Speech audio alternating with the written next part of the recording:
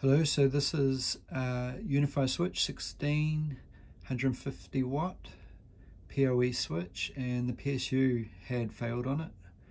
I had done another video in the past where you replace the capacitor on the PSU and this repair is a follow-up on how to actually replace the PSU with a third-party PSU.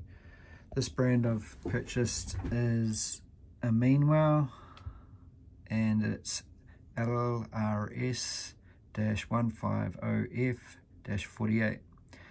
Now what I've done is I've just connected the live being the white, the neutral being the black, and ground to the power supply.